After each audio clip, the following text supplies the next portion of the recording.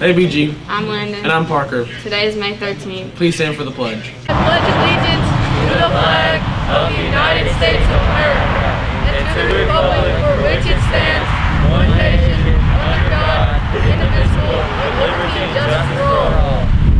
Tomorrow for breakfast, there's biscuit and cinnamon toast crunch. Tomorrow for lunch is barbecue pulled pork, PB&J, and turkey and cheese. All library books are due today. 8th grade promotion practice is May 20th from 9 to 11 at the high school. Your books will be handed out tomorrow during related arts. If you want one, bring $30. Make sure your Chromebooks are charged. If you want to sign up for the guest anchors, visit our website. BGJHS Youth Service Center is in need of girl skinny jeans.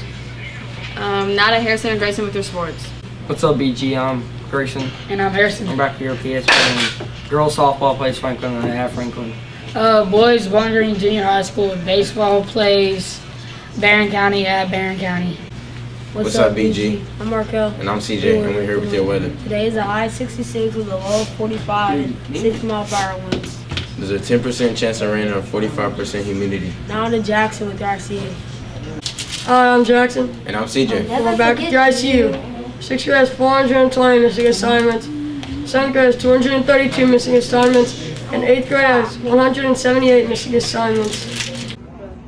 Hi, I'm Marco Yates and I'm here to tell you about the teacher's worst and best experiences teaching.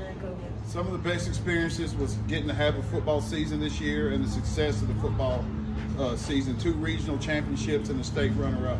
Some of the worst are just dealing with the COVID protocols in, themselves and having not uh, not being able to do things normally and having to wear masks all the time. But otherwise, it's been a great year. Thank you. I'm here with Miss Markham, an eighth grade science teacher, and her experiences during COVID are. The worst are when students have had to quarantine, and the best has been um, that I have really fun classes, so I'm really enjoying my students this year. Thank you. I'm here with Miss Bash. I'm a sixth grade science teacher. What's your worst and best experience from this year? So my worst experience of this year would be not getting to go to Trammell Creek like we do every year with sixth grade science field trip. Best experience is when all the kids came back um, from the hybrid schedule. Thank you. As you can see, teachers this year had a lot of good and bad experiences, but one thing they all had in common is they love to teach and they love their students. This was presented to you by Brandon Reeder and Marco Yates of the 8th grade. Make sure you're social distancing, keeping your mask on. Have a good day, BG.